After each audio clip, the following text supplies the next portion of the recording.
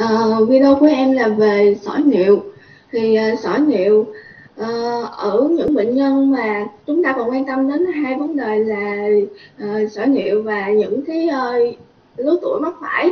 Ở những cái bệnh nhân từ 30 đến 50 tuổi thì có bốn yếu tố nguy cơ là béo phì, bệnh nền, uống ít nước và ngồi nhiều. Còn nếu dưới 30 tuổi thì thường có ba yếu tố nguy cơ là uống nước dưới một lít trên ngày ngồi uh, trên 5 tiếng và bất thường về giải phẫu. Uh, sỏi niệu thì uh, chúng ta cần quan tâm là kích thước của viên sỏi công thức tính là bằng uh, lợi W nhân đường kính nhân pi chia 6 uh, hao phiêu thì phải lớn hơn 1 ngàn. Sao phải lớn hơn 1 ngàn? Hao phiêu lớn hơn 1 ngàn. Nếu heo phiêu lớn hơn 1 ngàn thì không tán ngoài cơ thể được. À dạ. Bài kỳ cục quá đi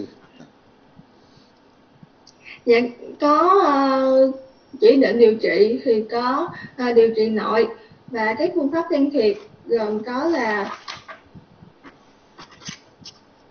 Sáu là cái tán sỏi ngoài cơ thể tán sỏi uh, niệu quản nội soi ngược dòng lấy sỏi qua nội soi hông lưng sau phúc mạc tán sỏi thận qua da và phẫu thuật mở lấy sỏi. Sandwich là gì?